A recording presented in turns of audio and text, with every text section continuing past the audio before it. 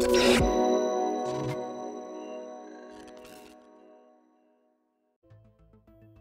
everyone, Josh here with Exus Games bringing you all another Awaken Chaos Era video. So it is very early in the morning for me at the recording of this video. We just got the patch notes for 1-6-2022, so this will be our first patch notes of the new year. Now, it being very, very close to global launch and with the fact that it is a new year and this is our first patch notes of the new year, I was expecting maybe they do something decent. I'm not expecting the whole world or any crazy, crazy changes, at least yet but I was hoping to continue improving the game with a very decent patch note alongside the new hero that was expected to drop, which we now have the information for. What I did not expect is for them to just completely say, you know what, if you're free to play, we do not care. Go to hell. Go to hell if you're free to play. We only want whales in this game. They basically said that with this latest patch notes. Now, you can consider this a rant video. I really don't care. You can try to defend this company. I really don't care there's no defending what they did in today's patch notes. Now, I know a lot of you out there are really seeing kind of how they've been mistreating a lot of the player base, what they've been doing to free to plays where they just keep, you know, just taking things away, but then giving us one little thing to try and keep you happy. That's worked for the past couple months. But now what they've done with this latest patch notes is just unexcusable. They're really definitely, I should say not really, they are definitely trying to cross the line now. So if you are an ace apologist and you just cannot take your blinders off for a moment and see what's really happening, hopefully this patch note enlightens you because my goodness. So we're going to go into it. Now, I've been trying to um, be very, I guess you could say, patient as much as I can. Of course, I've been playing this game for a long, long time through various betas, so I've already kind of seen all these tactics before. I already know how they do this, um, but I was just hoping. I was hoping. And hope is a very dangerous word okay? Because it has some level of expectation to it. And unfortunately, this game is just, you just should not have expectations. And I, am really getting sick and tired of people saying, well, this game's better than Raid. I really don't care. It just because it's better than arguably one of the worst games on the planet because of how Plarium treats their player base doesn't give this game a pass. We wanted this game to be an alternative to Raid. We wanted to be better than Raid, but we also wanted to be better than a lot of other games on the market. We needed a reason to play this game, enjoy this game, and really want to invest into this game, not only as a free-to-play, but even as a paid player. So let's go through this this patch note, and then you guys and gals can let me know what you think about this in the comment section below. But when you think things can get, I'm sorry, when you think things cannot get any worse, they sure know how to surprise you. So here we go. We have fixed the currently existing issues and prepared a compensation gift as our way of expressing our gratitude for your patience. Thank you for 100 gems. That's not even a single summon. Uh, still not doing the 150. I don't know why. Whatever. If you still encounter an issue uh, listed below, please restart the game to apply the updates. So the patch notes. Festival. The Winter Festival event has ended successfully and the Winter Festival shop will open until January 12th. New hero. Brand new hero, Brand the Brilliant, comes on stage. Web activity bounty of Brand the Brilliant starts. Now, basically, we have like a little seven day uh, login, a reward event going on where you just log in, you claim a little reward. I think you get like three summons or so out of that for the entirety of the seven days. It's nothing big. The new brand hero we will do a full review breakdown of. He is a light legendary, so there you go. He's only going to be available to the top 1% of the player base. That's awesome. and uh, he's broken. And we will get to that in our hero review video, which should be coming out after this. I'm going to try and keep this, like I said, you know, as calm and collective as possible. But boy, oh boy, did they, uh, did they really try to uh, en enrage some of the player base, at least in this patch. So system optimize the account reset function. Guild leader needs to transfer their position. Reset account. Uh, arena matching. Reduce the strength of opponent's match from tier bronze to silver. Uh, arena added point protection function. When attacked in arena, the drop of points won't reset in drop of ranks. Hero Pass. When the Hero Pass is purchased, and if the remaining days are less than three days, a reminder, I'm sorry, a reminder message will be shown to the players. Uh, multi-battle, now the status information of multi-battle settings will be saved. So all that stuff, none of that stuff is bad for the most part. It's all just, okay, little changes here and there. Sure, we can consider that an improvement. Maybe you want to stretch it a little bit, yeah, I guess you could say so. But here's where it starts getting a little bit crazy. Now, not all of it is bad, but there's some really, really questionable decisions at the very least, some head scratchers, and then some things that are just outright why. You ask the question, why? All stats uh, are for max ability level. So, Avera, ultimate ability, ultimatum, damage range increases from 100% to 200% to 150% now to 200%. So, she got a little buff there. Her min max are a little bit higher on that. A trait, Bone Slicer, damage range increases from 30% to 60% to now 40% to 60%. Effect adjustment, after Ascension, Gunfire applies defense down to targets for two turns. So she got a nice little buff there. If you're an Avera user, congratulations. Desmond. Now, this buff is very laughable. We just did a video talking about how Desmond needed a lot of different buffs to his kit to make him worthwhile, especially in comparison to the poison team or a poison unit in particular. Ultimate ability, Plague Emissary. The probability of infection has been increased from 60% to 100%. So, okay, he's going to basically infect all the time now. And the health loss per turn under Plague Emissary has been reduced from 10%, 20, and 30% to now 5, 10, and 15. The problem is you still didn't fix the issue. He's still slow and he still does no damage. His Plague is still being scaled to current remaining HP instead of max HP like Poison, so he still has essentially the same problem. Okay, terrible, terrible buff. Go back to the drawing board, maybe next time. Elson, basic ability slash ability, uh, special ability, sneak attack. The probability of applying defense down increased from 30% to 50%.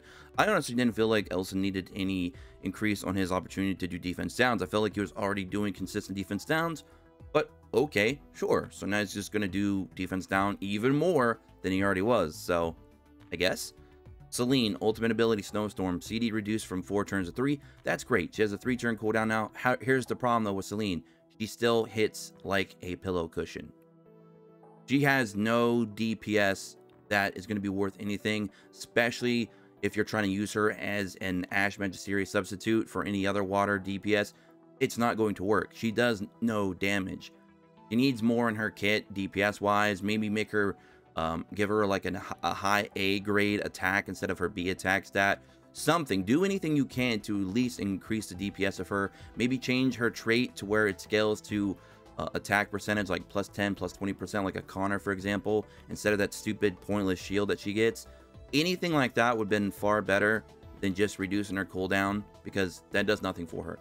She still hits like a wet blanket. Freya. Uh, basic ability, lunge. The chance of applying speed down increased from 50 to 80%. I mean, okay, sure, sure, sure, sure. Uh, the only the issue I have with speed downs is you really kind of need to be faster than the enemy, um, because the whole point of speed down is so they go after the rest of your team. That's like kind of like an issue that uh, Hydrissi has with her speed down as well. It's like, what's the point of having to speed down if you're so slow? So I don't really know if you're going to be using Freya as a speed down unit per se. Probably not. She probably could receive different buffs than this. But okay. Okay, sure. We'll let that one slide. Special ability Foil. Added that applying bleeding... sorry. Added that applying bleeding to the target for two turns. So, lead team is dead. If you didn't know, uh, it was a pretty decent team in CBT4. And I mean decent. I don't mean great. It was decent. It was a very decent team. Still not quite as good as Poison, but it was getting there as a nice dot team.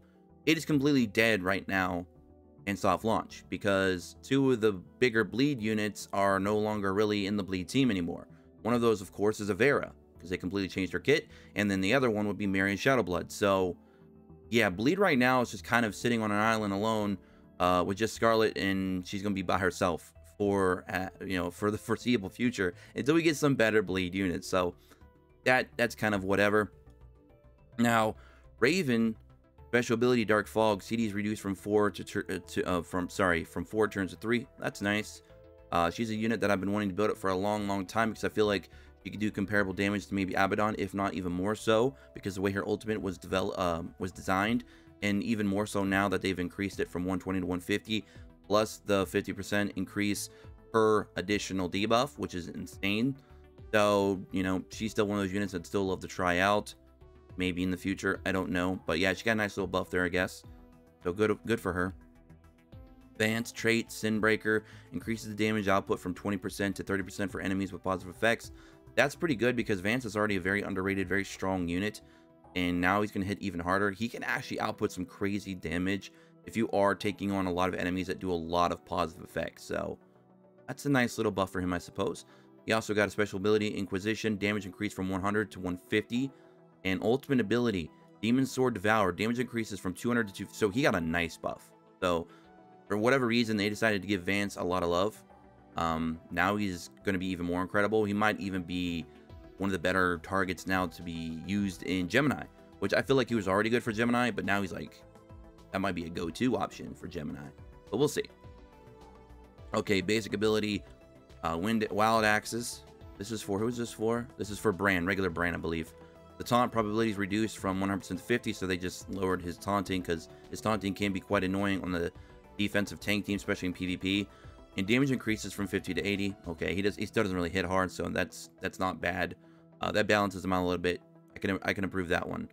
Ultimate ability, Call of the King, modified from removing two negative effects from all teammates to removing one negative effect from all team members. So, I, I guess um, in PvP that change really isn't going to matter too much because they're being ran alongside Blackhorn anyways for that team. So that really didn't hurt him too much. So really the big thing here about him is now he's not going to always taunt, which is good. That's that's a good because that tank team was a little bit ridiculous. Okay, Ricard. Okay, now we're getting into some more muddy water here. Trait Unshakable. Before, when taking damage, the damage reduction uh, increases by 5 to 10%, max 3 stacks. So you could have up to 30% damage reduction. Kind of funny because we just did a video actually a few videos here the past week or so talking about some of these units that we're getting ready to talk about now that were changed. Unfortunately, how do you love that? They must be watching my video and saying, oh, Josh thinks that unit's good, let's go ahead and nerf it, because, you know, F us, right? The max 3 stacks, after when taking damage, the damage reduction is increased by 10 to 20%. So, they made his damage uh, reduction even better, which is nice, so he's even more tanky than he was before. I like that, that's great. Um, I didn't think that he really needed that buff, to be honest, but after I see what else they do to him, maybe he does. Because basic ability, Mighty Strike, the probability of applying attack down is reduced from 80% to now 50%. So that's nice, you know, because why not? Um, special ability, Brutal Hammer, adjusted from restore 30% of max health to restore 10% of healing every time a negative effect is removed. So that is now super, super, super situational healing on his skill 2. And if you didn't see my video, let me spoil it for you. I did a Who is Better video yesterday, and it was between Ricard and our boy Rogue. Well, Rogue just instantly became a better unit, even more so than he already was because of these changes, because now Rogue's skill 2 healing is vastly superior to now the change that they made to Ricard, who is now going to have situational healing. Awesome. So they decided that they were going to balance him out by basically saying, okay, we'll make him a bit more tanky, but now we're going to make his healing, you know, kind of whatever. be super, super situational now. And we're also going to remove, we're also going to remove the ability for him to kind of, you know, have a good a good chance to increase, I'm sorry, to do attack down. Now it's down to 50%, so now it's kind of hit or miss. It'll happen or it won't. Uh, okay. And then it's and then we got Hakron here. Get ready, everybody. Get your seatbelts on. We're going through some really, really rough terrain. Ultimate ability. Totemic Charge. The effect of increasing the max health is reduced from a maximum of 5 stacks, which is 75% total, to a maximum of 3 freaking stacks. Why did they do that? I don't know. And don't tell me, oh, it's because of PvP. No, because most PvP fights are over before you even see that get to that point. And if it's already gotten to that point anyways, you're not killing that team, regardless, before the lightning kills you in PvP anyways. So don't use PvP as a freaking excuse, because I already know there's some people well, maybe it was too broken for PvP. That's BS, and you know it. This hurts a lot of teams. This hurts Ricard, obviously, who's already getting nerfed, so that's great. This hurts our boy Rogue. This hurts Santis. This hurts Rodira. Uh, this hurts. I'm trying to just go through the list of uh, you know other units that people are using day to day now um, for their tide teams that they worked so hard on. Um, all those elites that they were grinding up from pulls to craft Hakron, it's just it's becoming at this stage of the game, what's the point? If you're free to play, what are you doing wrong? Why are you making the developers hate you so much? Because they clearly have a thing against us. Uh, free to play as casual spenders. I mean, this is even maybe affecting some of the whales out there that went really hard trying to just max out their hackering for certain things. Uh, but this hurts free to play is extremely, extremely hard because if you don't have Blackhorn, you're using Rodira, and Rodira scales to max HP for healing. And we really, really had to lean on Hakron a lot in our Tide runs. And this is ridiculous. Our other free-to-play options, as we mentioned, was Ricard. It was Rogue. You hurt them a lot. In case you're not aware, this is 30% of max HP that they just reduced. Um, from, you know, giving us to our, you know, giving to your team. Because before was 75%, they just took away two stacks, which is, of course, 15% each, which is 30%. So, it's weird because now you're getting 45% now instead of 75. That's it just hurts a lot of things. I just wanted to throw those examples out there specifically though because that's kind of what a majority of you are using right now to try and do your tide runs, you know, trying to get your curse set gear. Huh. Well, we got some things for that too, so so buckle up. Stay tuned. Okay. Basic ability for Nathalia, Arcane Surge, damage reduced from 100% to 80%. Uh, I'm I'm trying to keep it together, guys. I'm trying. Uh, ultimate ability, Arcane Nova, damage increased from 180 to 200. Who cares? We weren't using her for ultimate. That wasn't the point. The point was we were building a strong team with William to utilize her skill one and make her very, very good and reliable in Ashe Magisteria, especially as a more free-to-play or at least a budget option because she is an epic. You still had to pull or you still had to pull multiple copies. You can't craft her. So, you know, it's not like you were just going to grab her anytime you want. You still had to get lucky and get her, or of course spend money to to get copies of her via summoning. It doesn't even stop there. William, William's trait that we all know and love, combat prowess. The increase of basic damage of all teammates reduced from 50%, er, I'm sorry, reduced from the 50 to 80%, which is what it was before, to now 40 to 60. Just to put just to put that into perspective. Nathalia's skill 1, which used to be 100% plus Williams 80, which made it 180, which was the equivalent of her ultimate, but she also got her buff on her skill 1, so it made it so good with the way her trait and the rest of her kit worked, is now been reduced down to 100% plus 60. So now her ultimate is out is now going to be doing more than her base base ability. So now when you run Ash, you're going to actually use her ultimate now. Even with the skill 1 buffs, it's still not going to match the difference because you got now a maximum of 160 from her base ability between her and William. Compared to her ultimate, that's now going to be 200. So you're losing 40% there. And your um, skill 1 buff just isn't going to match up the difference there. So it's just not going to close the gap. So that's just one instance of how this has completely screwed a lot of things up for a lot of people. So that's great. Thank you so much. If you're free to play, F off. That's basically what this company is saying. This is good times. And we're not even global yet. Who knows what other additional changes they're going to try and squeeze on us before then because um there's there's other YouTubes out there that I've seen and they're basically saying, "Hey, if they do all these things before global, global players won't know what happened, so who cares? Hardy har." Are you kidding me? Are you kidding me? Just say you're a shill, okay? Just tell me straight up you're a shill because that's a shill mentality right there. That is ridiculous. And I already know there's going to be some people that are going to defend all these changes. And I just, at that point, those people are just best left to their own devices just to ignore them because they're obviously not going to ever get the hint. They're just not going to care. They're not going to understand. I don't know. You know, those people are just a lost cause. There's no point even trying to go that route. But anyways, so that's awesome. Oh, thanks for nerfing William another big target. Thanks for nerfing Hakron. Thanks for nerfing Ricard. Just, what are we doing here? What are we doing? So, Santis, trait, Void Encroachment. In battle, the triggered attack effects can no longer trigger the trait. Okay. Okay, let's just keep going. Curse set. Before modification, after attacking, there is a 50% chance to launch a bonus attack using this character's basic ability. Okay, very well balanced, very good. We had to work really hard to get to this gear because, of course, it's in Tide. It used to be an Ashe Magisteria, which was much easier to farm.